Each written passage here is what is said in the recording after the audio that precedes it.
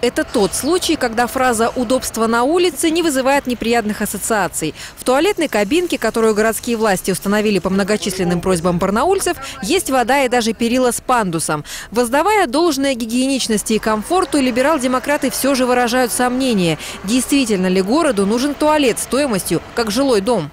Мы все понимаем, что это сделано для народа, для людей, для наших жителей, для гостей. Это очень прекрасно. Э, ну, не за такие деньги. Зарплатами, например, хорошими надо выделяться, уров, уровнем жизни надо выделяться. Ну, не вот этой кабинкой за миллион двести. Э, это бешеные деньги для общественного туалета.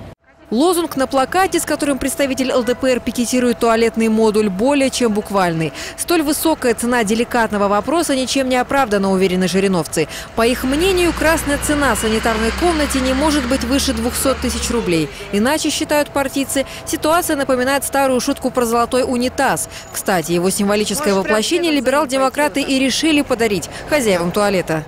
А вот вы можете, пожалуйста, вот передать вашему работодателю а, от нашей партии ЛДПР такой вот золотой горшок?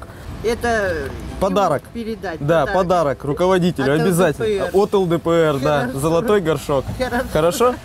Одним шуточным подарком меры реагирования не закончатся, говорят в ЛДПР. Сейчас в барнаульском отделении партии готовят запросы в соответствующие инстанции. Кстати, есть информация, что в центре города скоро откроют свои двери еще две подобные кабинки. Екатерина Гаськова и Павел Лауренин. Наши новости.